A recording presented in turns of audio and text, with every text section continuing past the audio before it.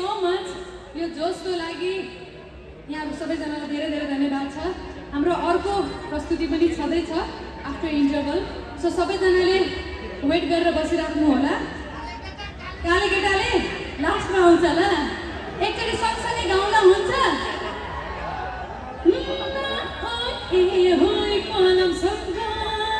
साधु भन्छ।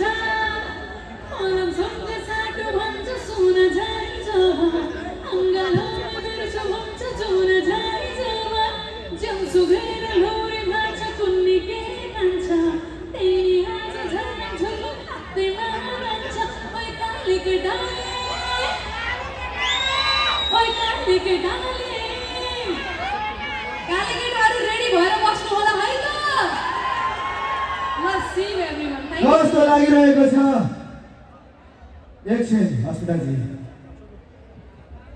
एकदमै राम्रो प्रस्तुति दिनुभयो काले केटाले रम्रमा मारौती यही भन्नुभएको थियो रम्रमा मारौती मरौती मरौती यही भन्नुभएको?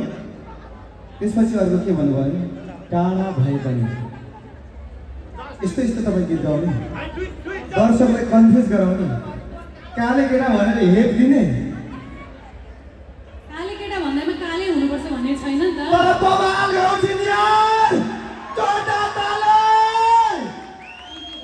यस्तो सुन्दर अडियन्स सुन्दर हाम्रो महामहिमज्यू।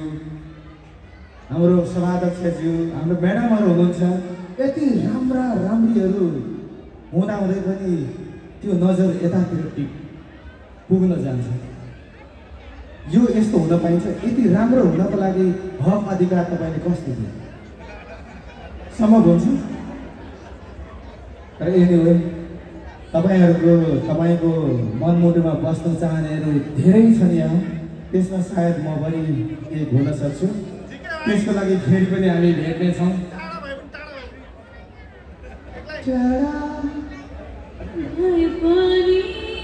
तिम्रो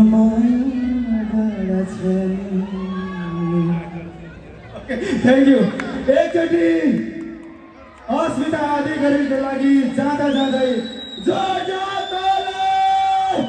thank you thank you so much अक्षरजी उहाँ फेरि पनि आउनुहुनेछ तपाईँहरूको लागि।